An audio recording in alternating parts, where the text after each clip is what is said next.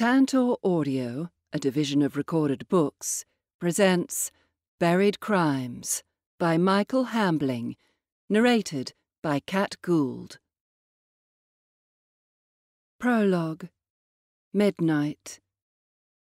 Leaves, damp bark, stone, dew covered petals, all reflected the silvery sheen of moonlight even the soil in the garden seemed to shimmer with a metallic glow, except for a patch of newly turned earth. Its blackness swallowed any light that fell upon its surface, like a dark star. In the centre stood a newly planted butterfly bush, a figure in miniature, protruding from the shadowy earth. It was less than fifteen inches tall, its erstwhile home a plastic pot, was lying to one side of the patch, upturned next to a garden fork spiked into the ground. The late night gardener stood back from the freshly turned bed and looked at the results of the past hour's efforts. Droplets of perspiration, shining in the moonlight, ran down a pale face and onto the chin, spattering the dark blue jacket. A cat wandered by and paused nervously for a while, tail twitching, hearing the sound of laboured breathing. The gardener leant heavily on a spade and looked around. Nothing disturbed the silence of the cool night. The figure stood looking down at the newly planted bush for several minutes before slowly gathering the tools together and walking back towards the house. The terrible task was completed. Chapter 1 The Butterfly Bush Friday night and Saturday morning. Midnight. A creak, possibly an old timber contracting in the cool night air. Jill Freeman lay awake watching the fuzzy outline of the moon through thin curtains. She could hear and feel Philip, her husband, gently breathing beside her in a deep slumber in the moments before he fell asleep, he'd told her how contented and happy he felt. She and Phil had moved to the house in Dorchester ten months previously, in early summer, along with their two children, Karen and Paul. It was the kind of house that families such as theirs could usually only dream about. An old, detached dwelling in one of the town's leafier areas, a throwback to an earlier century it sat among a hodgepodge of Victorian, Edwardian, and Georgian buildings. Finch Cottage had seemed like heaven for the family of four, after their cramped and noisy terraced house in Bristol. Some of the neighbours were undoubted snobs, but it was a benign kind of snobbery, harmless. And anyway, the area was close enough to permit the Freemans to maintain regular social contact with their Bristolian friends. They were a cheerful and gregarious family who, given time, would fit into their new social environment. A benevolent great aunt of Jill's had recently died and left them a substantial inheritance. She would have approved of their use of the money. They had bought property in an upmarket area and invested the remainder of the cash wisely. Jill and Philip were good parents, ambitious for their children. They had married rather later than average, in their late twenties. Now they were fairly fit forty year olds, active and careful of their health. Philip was tall and slim. Despite his fair hair, he tanned easily. His freckles multiplied now that he was spending more time outside in the open air. Jill was rather more fit than her husband, but she was shorter, darker, and of a heavier build. Karen, the twelve year old daughter, was tall, fair, and slim, whereas the ten year old son, Paul, was dark, heavier, and shorter, like his mother. The cluster of homes in their immediate neighbourhood, close to St Paul's Church, were all attractive detached properties with sizable gardens. Their new home had been somewhat neglected by its previous owners in recent years, so the Freemans had planned to renovate this was why Philip had fallen asleep so easily. He had completed the redecoration and fitting of the lounge, sitting room, as the neighbours called it, and they had celebrated by inviting some old friends who were on holiday in Dorset for dinner that evening. It had been unusually mild for early spring, and the four of them had been able to sit with the French windows open, showing a view of the sunset. The Freemans were pleased with their redecoration. Phil's new job was based in the local town planning office, and his contact with developers and builders had helped him in his DIY work. Their dinner guests ran a small building firm, and Philip had tapped into their knowledge. Bob Walker had helped Phil refit the kitchen before they moved in. He had complimented the Freemans on their choice of decor. In bed, Philip had talked of his plans for the following day. He would start work on the garden. Many of the trees and shrubs required pruning after several years of unrestricted growth. He was planning to move a buddleia to a more open, sunny position where it might attract a greater number of insects. Then he had turned over and closed his eyes, falling asleep almost instantly. Jill continued to lie awake, uneasy thoughts swirling around in her head. It wasn't until well into the silent, early hours that she finally fell into a fitful sleep. The next morning, Philip was in the garden with Karen. He had decided to go ahead with his plans to move the aged, gnarled buddleia, despite the light rain that had started falling during the night. The ground was now sticky and wet, and both were dressed in old clothes and boots. Why is it called a butterfly bush, Dad? asked Karen. She had finished clearing away some weeds and other debris from the area around the shrub. She stood, leaning on a fork. Her father had begun to dig a trench around the roots, preparing to lever out the plant. The flowers must be attractive to them, not just butterflies, lots of other insects too. How much longer will it take? The girl continued. I thought we'd be finished by now. I'm getting tired. Not too much longer. The preparation always takes longer than you expect, and we've done all that now. He looked up at the grey sky, the drizzle was starting to turn into a definite downpour. You start at the other side, he added. Let's try to get it out before we get completely soaked. He wondered about postponing the final stage of the work, but looked at their mud caked clothes. It would be easier just to work on and then clean up with a bath or shower. There's an old bit of rug or something under this end, Dad, Karen said. The fork keeps getting stuck in it. Take the spade and chop it downwards to clear whatever's there. It should come out then. Philip kept digging, his damp shirt beginning to stick to his back. He heard his daughter suddenly gasp and looked up. Karen stood with her mouth open, her eyes riveted on the object she held out. Decayed and rotten fabric had partly fallen away from the lump she had freed and picked up. It revealed the bones of a small human hand severed at the wrist. Philip looked at his daughter in horror. She had turned deathly white. She stood, mouth agape, staring at what she was holding, as if unable to let it go. Drop it, he hissed urgently. She looked at him uncomprehendingly, then dropped the hand. She moaned once and began to topple over. He caught her limp body before it fell to the ground, hugging her to him as he carried her back to the house.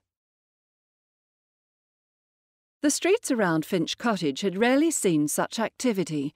Within a few minutes of Philip Freeman's emergency phone call, a squad car had arrived, followed shortly after by a doctor called out to treat the shocked young girl. Karen was pale and shivered in uncontrollable spasms still gasping with occasional sobs. She sat, hunched forward, wrapped in several layers of blankets in the warmest room in the house. White knuckles showed the tightness of her grip on the covers. Her thin white face looked pinched and tearful. The doctor was present for just five minutes. He talked to Karen, administered a mild sedative, and suggested a warm bath, followed by a spell in bed. Her father declined a sedative for himself, opting instead for a hot shower and a cup of tea. She's a lovely girl, said the policewoman as Jill led Karen upstairs to the bedroom. Two constables had made a quick inspection of the excavation spot before the older one had returned to the house. Her younger colleague remained outside watching the site, sheltering from the pouring rain in the garden shed. She had spoken to her headquarters by radio and then talked to Karen and the doctor before he left. What do you think? Philip asked, once his daughter was out of the room. The policewoman shrugged. Can't say. There's still some old rug and carpet visible, but it's impossible to say how much. We'll just wait until the forensic team and the officer in charge arrives. It could be entirely innocent, I suppose. There are meant to be remains from an old battle all around here. But they wouldn't have wrapped the body in a carpet, sir, she answered. It's likely to be quite recent, but as I've said, it's not worth speculating at present. She took a cup of tea out to her colleague. The rain was falling more heavily now. It was falling in torrents as Detective Chief Inspector Sophie Allen stood gazing out from her office window. Her hands were thrust deep into the pockets of her fashionable cardigan. The weather matched her current mood, which was somewhat dark and brooding. She stared at the view stretched out below her second floor window, deserted pathways awash with water. After all, it was a Saturday morning, who would want to come to work on a morning like this, unless they had to? Well, she'd only called in to collect some paperwork to take home. There was no point in planning any outdoor activities on a morning like this. The door opened, and an administrative assistant walked confidently into the room, only to stop suddenly when he realized that the small office was not empty. Sophie looked round. Sorry, ma'am, the light wasn't on, so I didn't think anyone was here. The young man hesitated, apparently unsure what to do next. He waved the single sheet of paper that he held in his hand. The chief's office asked me to put a copy on your desk ready for Monday, last month's provisional figures. Sophie merely nodded, so the young man dropped the paper on the desk, then backed towards the door. Do you want me to put the light on, ma'am? he asked. Sophie sighed. You might as well. I'd better have some light so I don't take home the wrong report. Before she could return her gaze to the damp scene outside, her telephone rang. She picked it up and listened to the message. As she listened, she stood taller, her green eyes opened wider, and the frown vanished. She played with an earring and pushed a few loose strands of pale hair back behind her ear. No, I'll go myself, she said. Who's there at the moment? She listened. Get back to them. I shouldn't take more than fifteen minutes. And arrange for a forensic team, will you? Make sure there's an outdoor specialist included. They can move in as soon as the pathologist has finished. Until I decide what we're dealing with, we treat it as suspicious and do it properly. She replaced the receiver, swung her waterproof jacket from the back of her chair, and hurried out of the room. Water dripped from trees and bushes and poured from the gutters. It ran in rivulets down the window panes at the rear of the house, obscuring the view to the garden so that everything looked distorted and out of focus. The traditional April showers had arrived with a vengeance. The wind was gaining strength, plucking some twigs and a few early leaves from some of the garden trees. A couple of these blew onto the window panes, where they stuck as if glued on by some mischievous child. The family and the neighbours watched from their various windows as the police team arrived by degrees. First, another pair of uniformed constables, then several groups of plainclothes officers, followed by the forensic squad, who erected a tent like structure over the area where Karen had made her macabre discovery. It was clear who was in charge the middle aged woman wearing pink Wellington boots, which clashed somewhat with her olive green waterproof jacket and trousers. The find was devastating for Philip and Jill Freeman. They weren't horrified in the same way as their daughter. Instead, they felt a deep and sad unease that their new home, their dream paradise, had been so swiftly and utterly changed. It had become tainted by what their garden had revealed. The gloom and despondency in the house and garden seemed to establish itself as each hour passed. In a brief flashback, Philip had realized that the skeleton hand was only half the size of Karen's. The thought haunted and appalled him. It's a curious sort of job, this, isn't it, Sophie? The speaker stood under the awning looking at the severed hand, now wrapped in plastic, lying on a shallow tray. He turned again to the woman who stood beside him. What do you mean by job? This particular crime, or this line of work? Sophie Allen had often worked with Benny Goodall, but their friendship stretched back much further to a time when they'd been housemates while at university. Sophie had been studying law and Benny medicine. He was Dorset's senior pathologist, and Sophie had sometimes wondered whether he did nothing in his life but wait to be called to another murder scene. But she couldn't judge him harshly, considering how her mood had lifted on receiving her own call an hour earlier. We're both just a little too macabre, she thought. My job. Routine medical work most of the time often utterly tedious, working by the book and following procedures set in stone. But this type of nasty deed, he waved his hand. It's grimly interesting. I know it's a bit nightmarish, but it's fascinating at the same time. Sophie looked at Goodall as he stood in the liquid ooze, his Wellington boots caked in mud. He had a lively gleam in his eye. I hope you didn't say anything like that within earshot of the family, Benny. They'll be shocked enough as it is. I wouldn't want them going over the edge. No, no, no. Only the proper official manner to members of the public. Now, do you want me to take a closer look? I can't do any more until we free the rest of the skeleton and get it back to my place. Sophie nodded to the SOCO unit, who started to clear the soil from the stump of the buddleia and dig around the damp and malodorous rug. The butterfly bush was cut off at ground level, and soil was carefully removed from its roots and deposited in bins for later examination. There were frequent pauses while photographs were taken. Soon the disintegrating remains of the rug were exposed, revealing a skeleton, complete apart from a missing hand.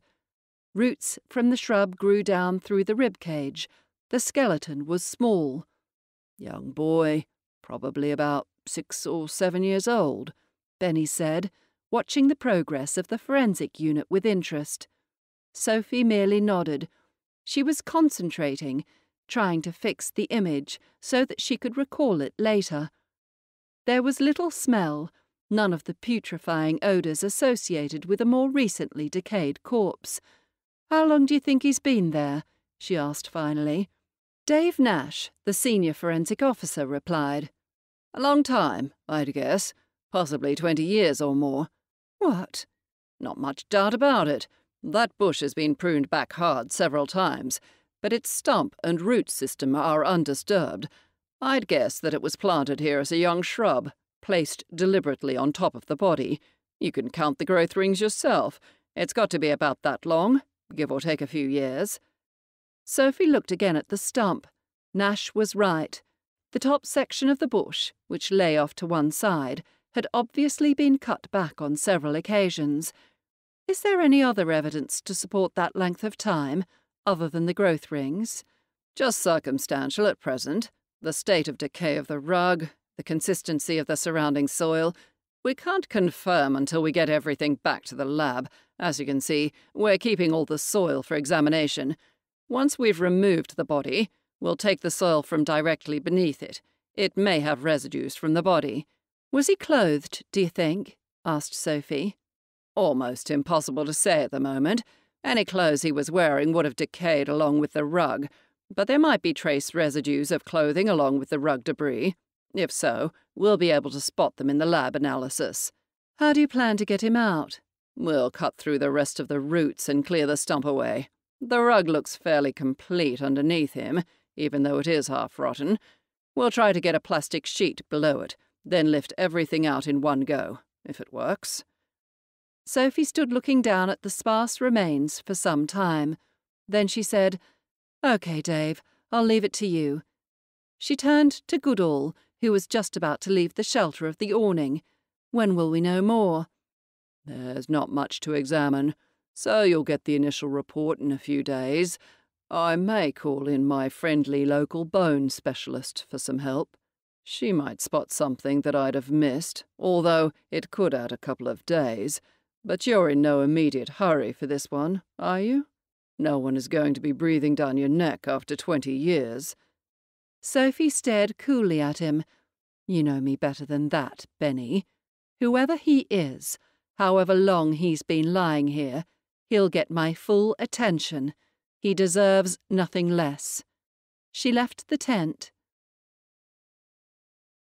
Sophie turned her back on the section of the garden that had hidden the corpse for almost a quarter of a century. Her young, ginger haired detective sergeant stood waiting for her outside the awning. So, this is where we start thinking, Barry, she said. Why would someone bury the body of a young child in such a way? Manslaughter? Murder? It's got to be something like that, ma'am, Marsh answered. If he'd died of natural causes, he wouldn't have been wrapped in a rug and dropped into a hole in the garden.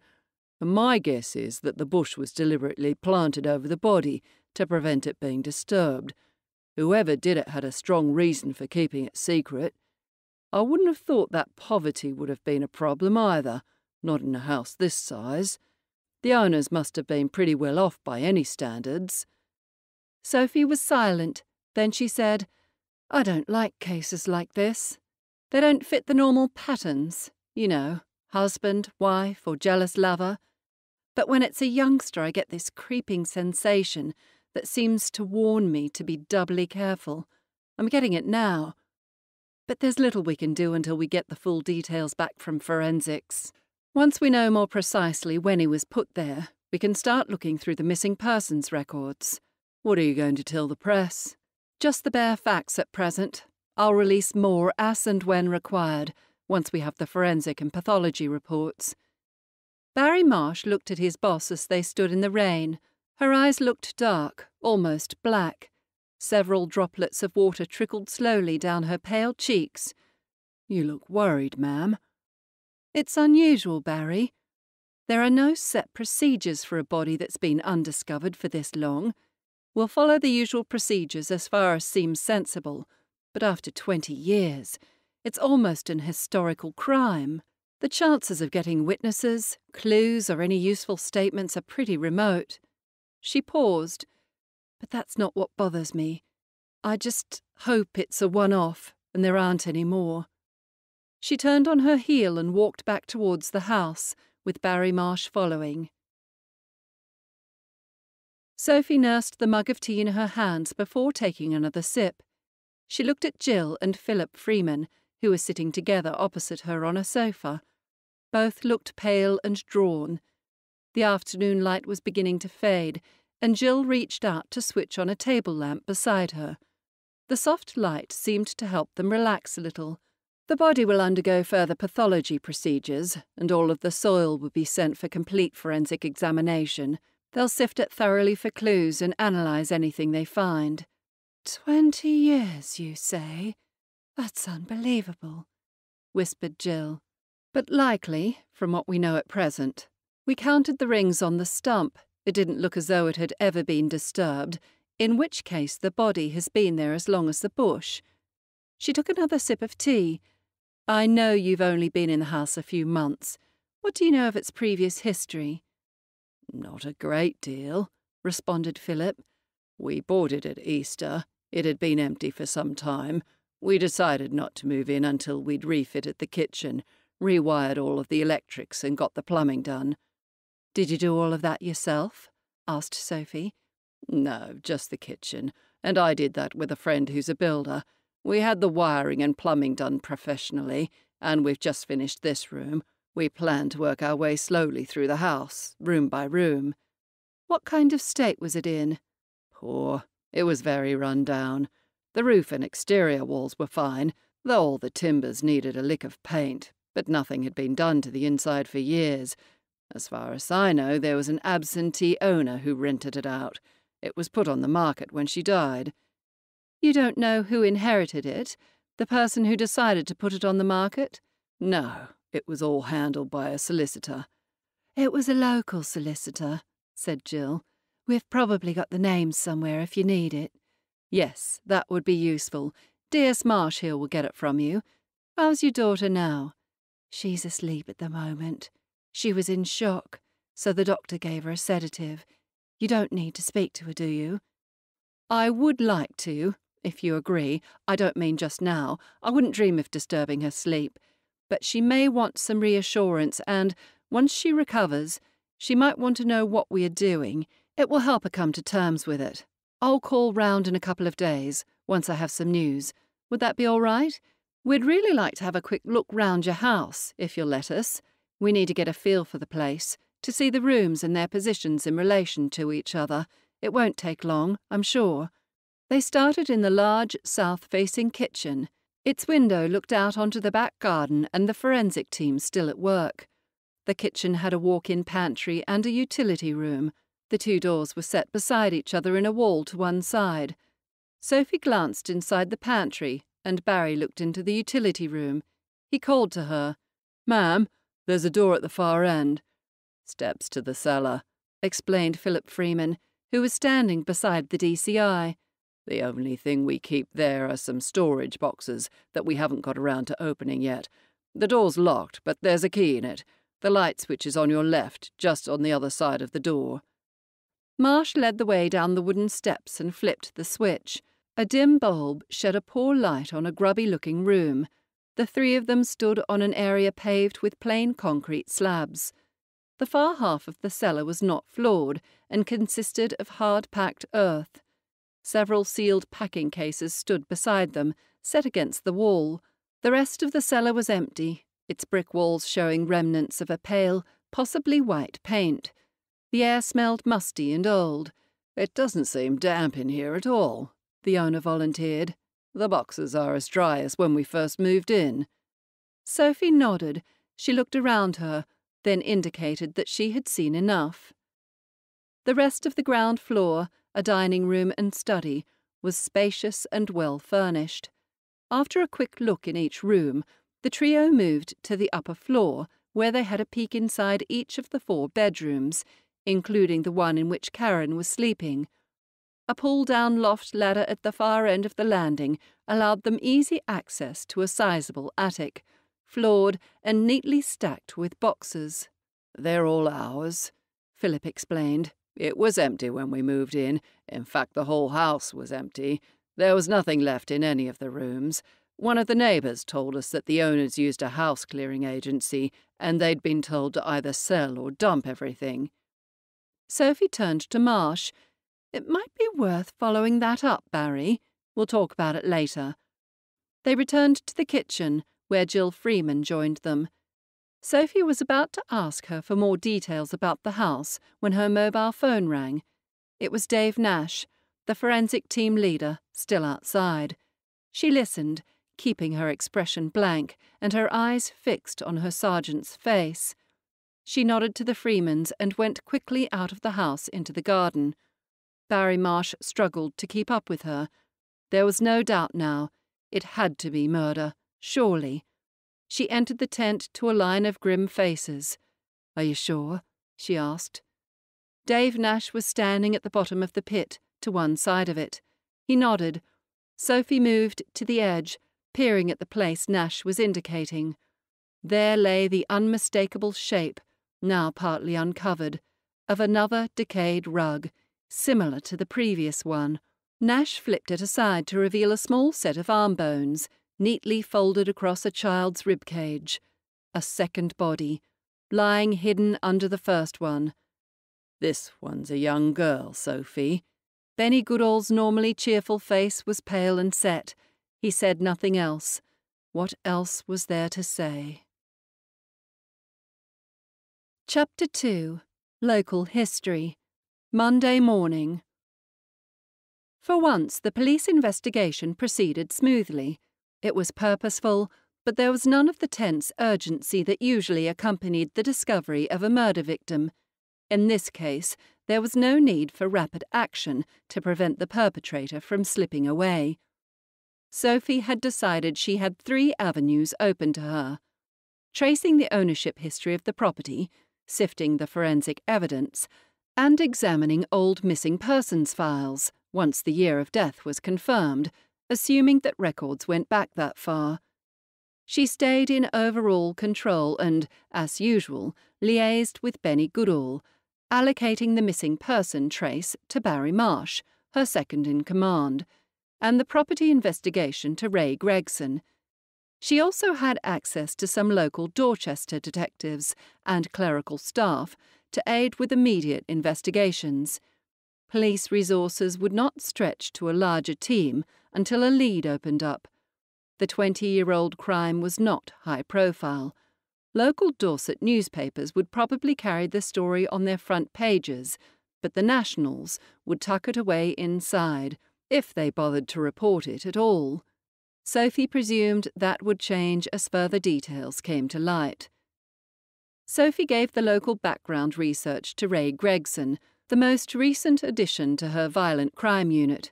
Ray was a keen and thorough investigator, willing to put in the extra effort that often yielded the clue that would crack a problem.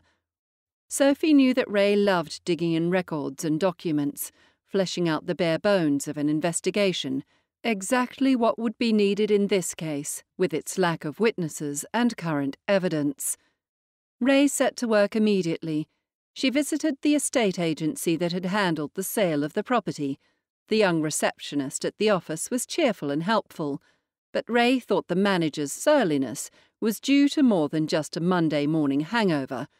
He kept her waiting for almost ten minutes before seeing her, despite having no other visitors, and his answers to her questions were monosyllabic. She forced herself to restrain her impatience and was finally rewarded with a look at the file on the Freemans' property. She noted the address of the vendor. It confirmed what Jill had told them two days before.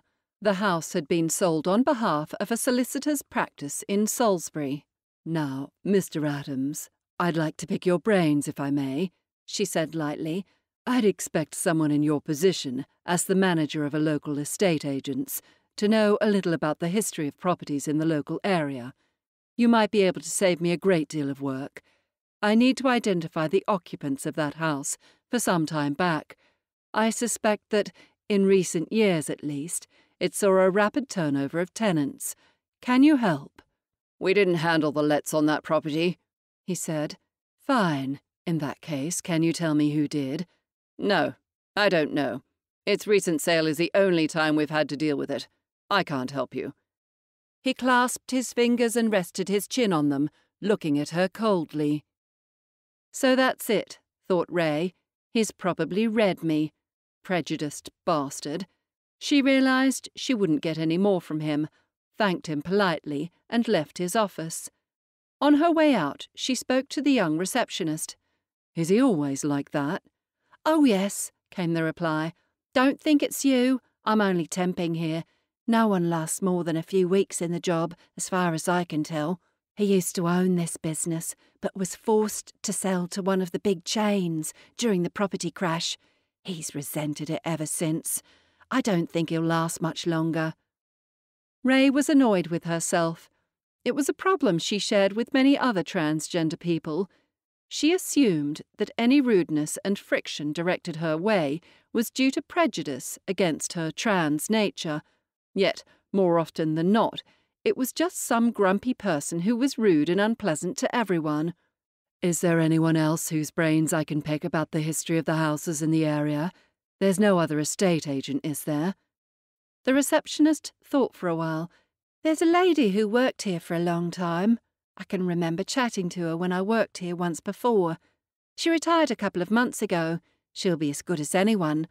I don't know exactly where she lives. Somewhere behind the high street, I think. But her name is Margaret Court. Like the tennis player? asked Ray. Yes, and she played tennis herself as a youngster. She'd even won some cups at the local club, so she told me. Ray borrowed the local telephone directory and quickly found an address for a John Court in Honeywell Lane. This was a side street running at right angles to the High Street. There was a good chance that this was the correct address.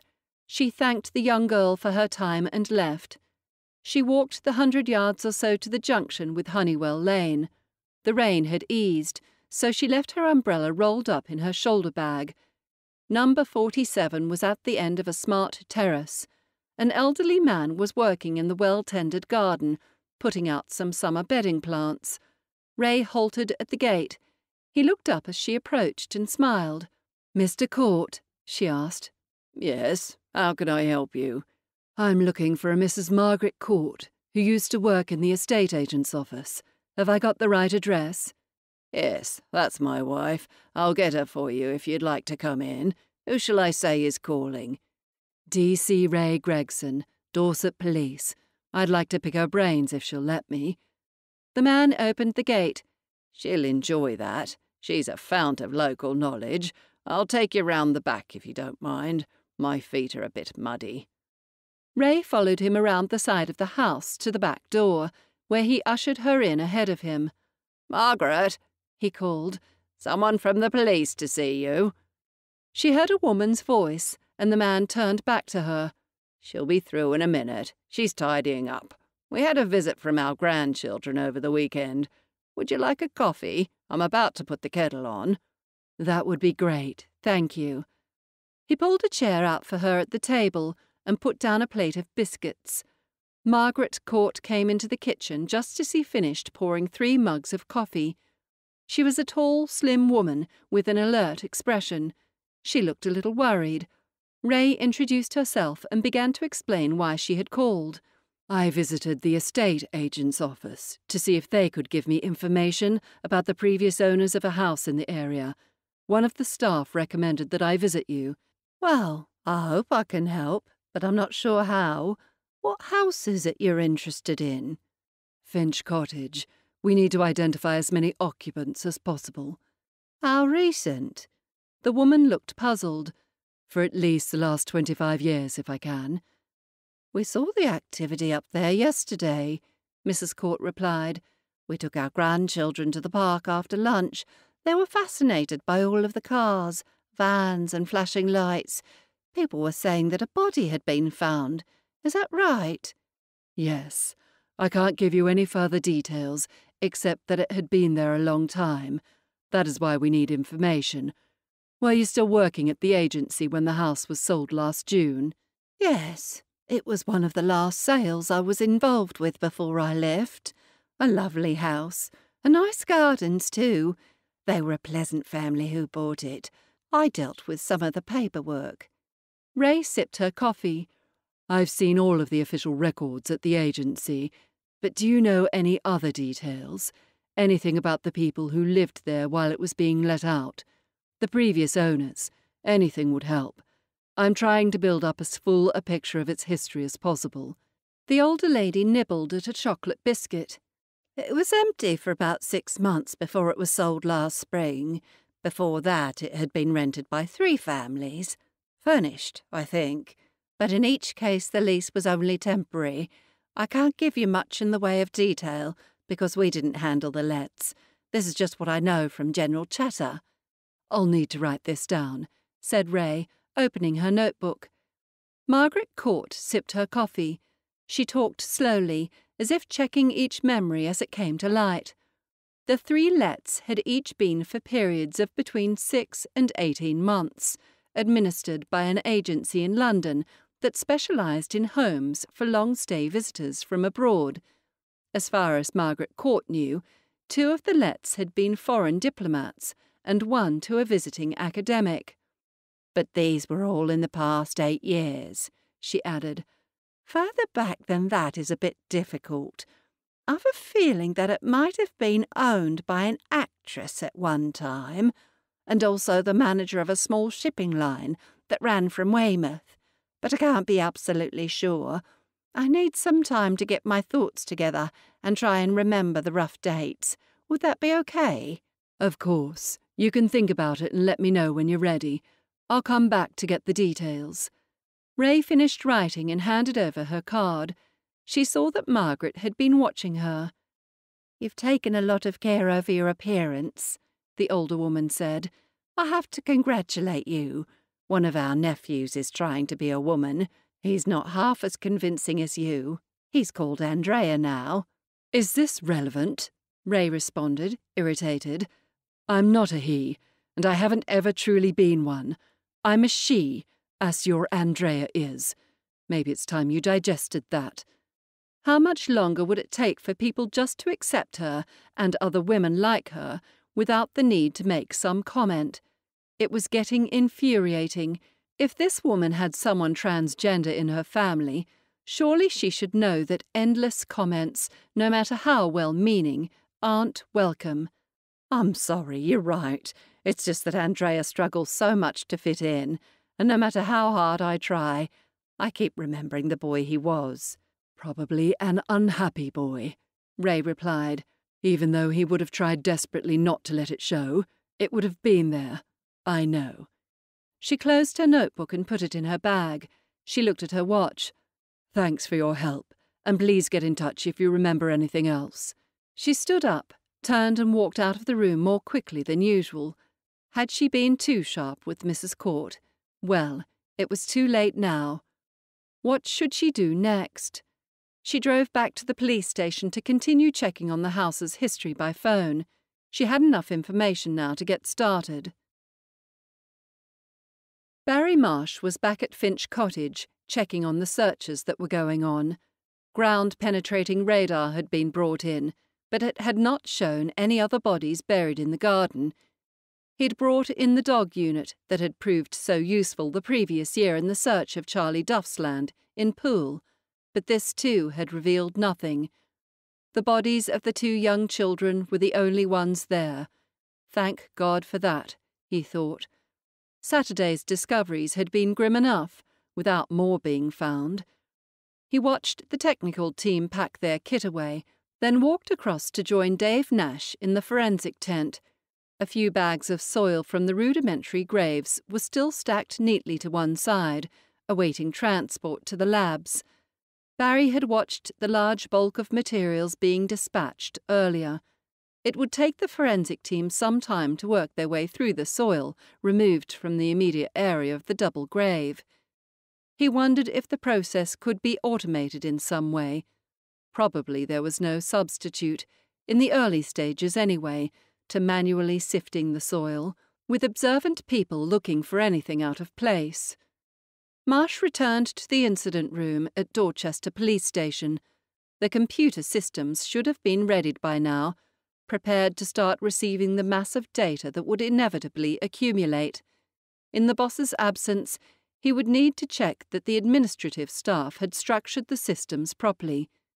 DCI Allen had gone to London mid morning, but had said nothing about the reason for her visit. His was not to reason why. Chapter 3 The Worst Thing Monday lunchtime. Harry Turner sat in a small alcove sipping his pint and wondering why he'd agreed to come. He'd cancelled a lunch date with a couple of cronies from the local chess club in order to be here. Maybe lunch date was the wrong term to use. In reality, it had been more like an informal agreement to meet over a drink. He looked out of the window at the busy London traffic queuing up outside on its way past the bulk of Waterloo Station, taxis stuck behind a bus, forced to stop mid road to unload passengers because a bakery van was parked in the bus pull in. As he finally passed the van, the bus driver gave it a cheery wave. Surprising, thought Harry, wishing that some cheer could be directed his way. He took another sip of his beer and fought his way back through a forest of memories to the final weeks before she'd left. The increasing sense of desperation that had engulfed him in those last days had taken him unawares. It had been obvious that she'd eventually move on, that her time with him would be limited. So he should have been prepared. But the human brain is a funny old thing, he thought. You can rationalize and reason things through until you've kidded yourself that you'll cope. But when absence has become a reality, it knocks you for a six. He missed everything about her her smile, her sense of style, her ability to say just the right thing and reflect back at him the very ideas that were formulating in his own brain, her willingness to take risks, her determination and drive no one had ever replaced her. No one could, not in his view. And in those bleak months after she'd left, he'd dragged himself home every day and wondered how he would cope. But of course, he had, just like she'd told him he would.